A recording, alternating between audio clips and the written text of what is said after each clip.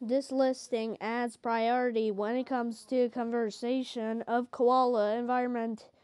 Minister Susan Ley said on Friday, she said officials were designing a recovery plan and land development applications would be assessed for impacts on species. Last year, a New South Wales inquiry found that koalas will be, would be extinct there by 2050 unless there was urgent action.